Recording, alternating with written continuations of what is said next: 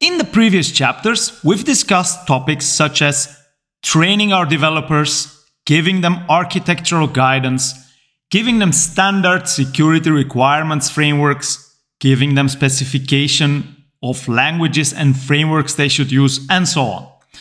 Now, given all of that, the coding aspect itself is outside the scope for SAMM. So there is no practice in SAMM that says code securely. Because the expectations about methods and quality of coding come in mostly in governance and design business functions.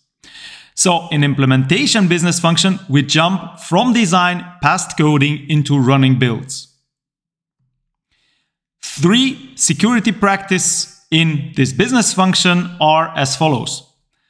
The secured build that focuses on the security of the build process.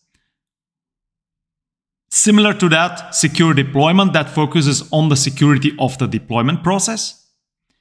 And finally, defect management that targets to have a systematic and consistent approach to tracking defects.